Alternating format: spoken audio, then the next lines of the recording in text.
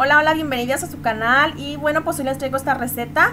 Aquí ya tengo yo mi pollo ah, cocido y desmenuzado y bueno, también voy a estar utilizando media cebolla y la voy a estar este, cortando en julianas. Ustedes pueden cortarla del tamaño que ustedes quieran, si quieren también en cuadritos, pero a mí se me hace mejor así, más fácil y rápido, ¿verdad?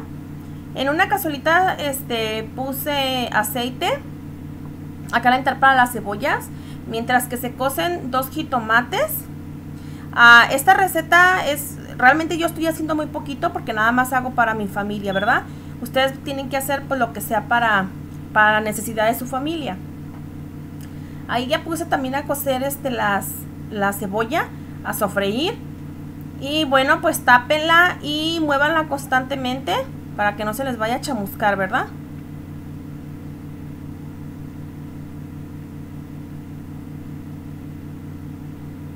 Muévanle, muévanle hasta que se le sofría, hasta que agarre como un, un colorcito medio transparentito. Ya es que ya están.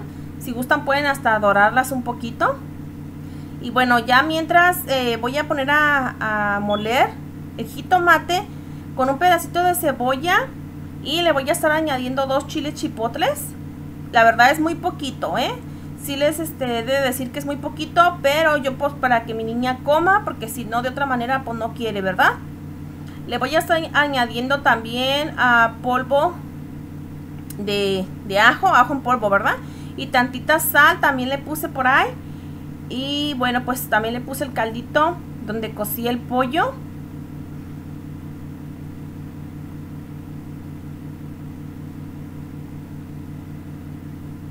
En este punto también le pueden añadir si quieren tantito ah, ajo de este North Suiza. Yo se lo añadí un poco después.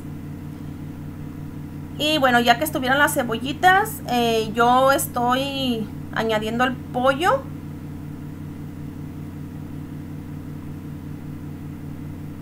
que no quede huella, que no y que no, ¿verdad?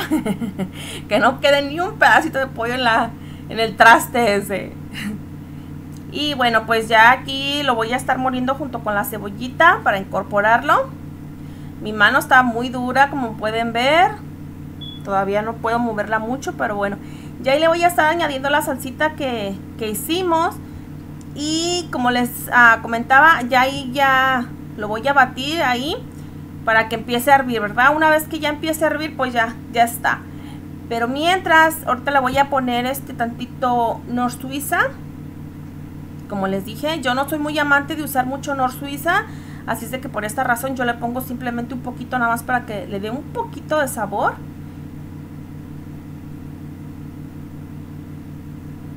Y bueno, pues ahí lo tapan. Y ya una vez que hirva y que agarre otro colorcito eh, más marrón, eh, ya va a estar nuestra receta.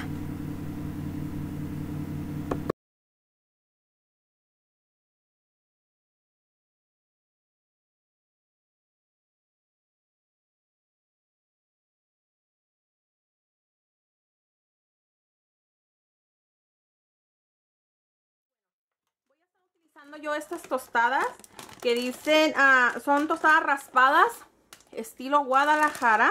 Buenísimas, por cierto. voy a estar utilizando esta crema Daisy y voy a estar utilizando queso cotija o queso fresco, que ustedes quieran ponerle. Y bueno, voy a estar agarrando la, tostada y le veo el helado que esté más bonito, que de manera que cuando yo la vaya a poner, pues no, no se me vaya a caer, ¿verdad? la comida, pues se, pone toda la crema en, la tostada. Yo a esta crema, como es muy gruesa, yo le añadí un poco de, leche para hacerla poquito más aguada porque realmente es demasiado, demasiado gruesa. Y bueno, pues así, déjenme le pongo y así es como va a quedar. Y ahorita le voy a poner lechuga y el queso. Yo ahorita regreso, ¿sale? Y pues ahí están. Y ya, ya tengo la verdura limpia este, lavada y desinfectada. Ya nada más le vamos a poner este, lechuguita arriba. Al gusto, eso es al gusto. ¿Verdad? Ahí como ustedes ah, gusten ponerle de, de, de lechuga. Y pues de queso. Y bueno, pues así es como quedó nuestra rica y deliciosa tinga. Y bueno, yo espero les haya gustado muchísimo este, este video. Está mal grabado, la verdad. Y discúlpeme, pido una disculpa porque pues la mano derecha todavía no está 100% ah, firme. Todavía pues por lo del derrame todavía lo tengo un poquito uh, dura, rígida, ¿verdad? Pero hice todo mi esfuerzo. Yo espero les haya gustado este video. Me, regalen un like, me ayuden a compartirlo. Y bueno, pues Dios me las bendiga muchísimo. Hoy, mañana y siempre. Gracias por todo su apoyo y hasta la próxima.